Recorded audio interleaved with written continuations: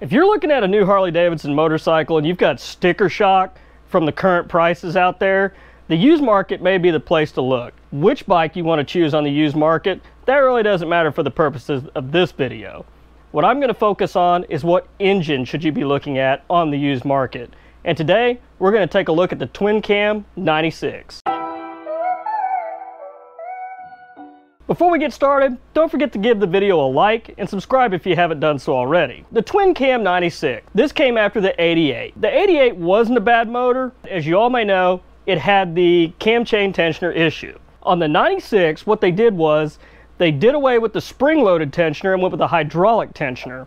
It was a much better setup than the spring-loaded tensioner, and they didn't have nearly as many problems with the shoes coming apart and grenading motors. Also, the Twin Cam 96 all of these engines were fuel injected. There were some fuel injected 88s out there, but for the most part, most of them are carburetor. Now I know some of you guys prefer a carburetor or fuel injection or fuel injection over carburetor, vice versa. For the purpose today, I want to make sure I talk about an engine that has some of the more modern features. The older bikes, 2007 and up, that have the 96 cubic inch engine, the prices on these bikes are lower than the ones that came later on with the 103. Now the 96 really wasn't known for being a huge monster horsepower producer. It did produce a large amount of torque and it did it very quickly down low. In buying a motorcycle that has the 96 inch engine in it, you're looking at saving a lot of money over new, a lot of money over buying a newer 103, and if you're willing to get your hands dirty,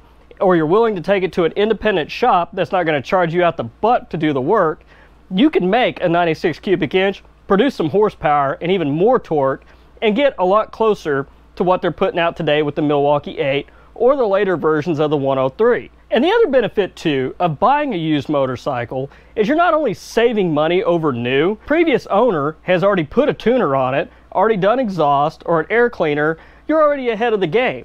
And not only that, you might get some bonus accessories along with it like windshields, bags, there's no telling. So the idea is, is to save money over buying a brand new one and being able to customize your 96 inch motor to get that power output of what the bikes are making today. Let's start with Harley Davidson's Screamin' Eagle kit as just a basic example to give you an idea of what you can do and what kind of power you can make on a stock 96. So you've got your stock twin cam 96 inch motor. This is the basic starting point to really get that bike up to modern standards. Here we have a 96 to 103 inch kit, the Screaming Eagle Stage 3 for your twin cam. And from Harley Davidson at $699.95, this is really honestly a deal coming from Harley. Now, of course, we could get these on the aftermarket for a lot less. What does this offer your bike? What kind of power numbers are we looking at? So your bone stock 96 inch cubic inch motor, you're making roughly, oh, 62, 63 horsepower. And we're looking at about 78, 79 foot-pounds of torque at 3,500 RPM. Now by converting this over to a 103, for $700 using Harley Davidson parts, we start making roughly, you're making over 92 foot-pounds of torque at 3,000 RPM. And then as far as horsepower goes, we're looking at about 75 horsepower, which isn't bad for just a basic conversion, going from a stock 96 to a 103. That's not a bad improvement at all, especially using Harley Davidson parts for about $800. Of course, that's just the cost of parts. And if you do it yourself, you're going to save a ton of money over paying somebody else to do it. Not any horsepower numbers that are going to really, you know, blow the roof off, but the torque is massive on this motor, which that is freaking awesome for 800 bucks. Those figures too, those are figured with the Screaming Eagle street cannon mufflers and a Screaming Eagle tuner. So if you're using an aftermarket exhaust system with an aftermarket tuner, you can expect those numbers to be a little bit higher as well. But for $800, that's hard to beat, especially if you bought a bike for a quarter of the price of a new one. And not only that, with the 96, you can get a 96 in a Dyna, the beloved Dyna. They're still everywhere out there. Now, of course, you could argue, you know, yeah, I bought a used motorcycle, got a great price on it. Now I'm I'm not going to throw a bunch of money into it like that. Motorcycles aren't about making money on them unless you're selling them. If you're buying it for yourself to enjoy and you want to save some money on the initial cost and have something that's not stock and runs great, this is a great option, especially if you do it yourself.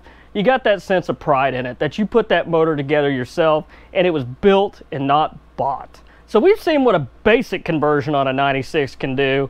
Let's see what happens if we get a little hotter with a set of cams in it. Now moving up the line a little bit, this kit's a little bit more. Instead of $800, we're looking at 950 roughly about 150 bucks more to add a set of cams to it. Going ahead and adding a set of cams to it, it's going to net us about 95 foot-pounds of torque and roughly about 80 peak horsepower. This is a huge improvement over stock, and only for $150 more than the basic conversion to a 103 might be worth looking at. So cams add a little bit more to it, a little more horsepower, a little more torque, but nothing that really sets the world on fire yet. Now, it's one thing I've noticed with twin cam engines, they love their compression. The more compression you put in them, the more power they build. So let's take a look at the next Stage 3 kit up, which is the next step up from the last two Stage 3 kits we looked at, where they add some more compression to it.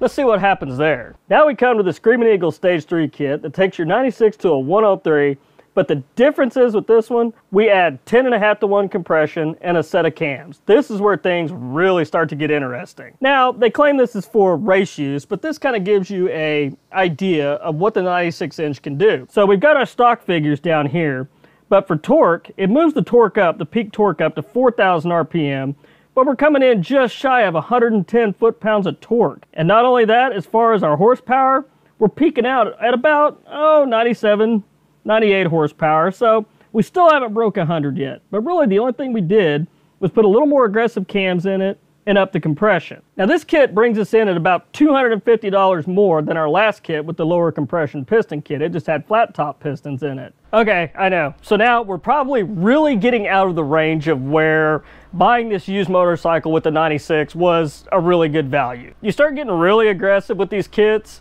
you might be getting into the territory where you could have just bought a newer one. But the thing is, these are all from Harley Davidson, and I like to use Harley Davidson parts as an example. Of course, there's aftermarket companies out there like S&S, Fuel Moto. There's all kinds of aftermarket companies that produce some really quality big bore kits and high performance accessories for these 96s. Now we've kind of seen what happens when we just upgrade the displacement, when we add high compression pistons, and then when we add a set of cams to it. But now Let's take a look and see if you just went all out on your 96. If you threw it all out there and went with a stage four on a twin cam 96, let's see what you could end up with there. This brings us to our last stage kit for the 96. The 96 to 103 stage 4 comes in at right at $2,400. But at this point, we're adding a throttle body, a whole new intake system, and we're adding a set of their ported heads. Cams, compression, everything you can imagine. The numbers on this kit from a stock 96 all the way up to where this thing produces are pretty impressive. So we started out down here about 62 horsepower and about 78 foot-pounds of torque. After this kit, our torque's peaking out up here roughly about about 100 and oh about 115 foot-pounds. That's at 4,000 RPM. So this kit does move your torque up the line as well as your horsepower. But right off the line, you're starting out as more with more horsepower than you did over stock and it just continues to climb all the way up roughly to about 115 horsepower. That's one heck of a game when you started out stock at about 62. Yeah, so the Stage 4 kit, that really pumps up the power of that 96. But at $2,400, even if you're doing it yourself, we're really kind of getting into that territory where we were defeating the purpose of our used motorcycle. Just to show you what's out there for the 96. You can pick these bikes up all over the used market. Right now, Harley Davidson's biggest enemy is itself with its used motorcycles. The market is completely flooded with these used bikes. There's so many of them out there that even Harley Davidson is willing to finance you on a used motorcycle, even if it's from another private party. You basically, you and the person you're buying it from, you take all your paperwork and the bike down to the Harley dealer and they'll set it all up for you right then and there. But also, I love to use Harley Davidson parts as an example because they normally don't produce as much power as some of the aftermarket kits do. Because a lot of their, a lot of the Harley part, they're trying to keep them EPA legal with their street cannon mufflers, etc., all that. If you step outside of the box and go out to S&S, like I say, and it doesn't really matter what bike you get, with the 96 inch motor, whether you're picking up a used Dyna, a used Softail, or a used Touring model, they're all quite a bit less than compared to what's out there as far as brand new bikes. You can find them with a reasonable with a reasonable amount of miles on them. Bottom ends on these bikes are usually good forever. So if you're looking to buy a used motorcycle and up your power a little bit to kind of bring it up a little bit more with the modern bikes that are out there, 96 inch is a great way to go. Also, I should mention too that any bike with the 96 inch motor, they all have the six speed transmission. I know everybody loves that six speed transmission. They're all going to come with that as well. So we're getting fuel injection, six speed transmission, updated cam chain tensioner, pretty much all the problems that they had with the 88. Everything that everybody clamored for out in the 88 is now in the 96. So guys, whether you're riding a 96 and you're interested in what kind of upgrades you could do to it to really get some more power out of it, or if you're in the market for a used motorcycle, 96 inch is a good place to start. You can pick them up a lot cheaper on the used market. They're everywhere. They're good, reliable motors. There's a huge knowledge base out there, and you can always get your work done at an independent shop and save a lot of money over the dealer. Or better yet, just do the work yourself. I hope I gave you a great idea of what you can do with your older Harley Davidson and bring it up to modern standards. I want to thank you guys for watching. Please don't forget, hit the like button, subscribe to the channel, and I'll catch you guys next week. Stay safe out on the streets.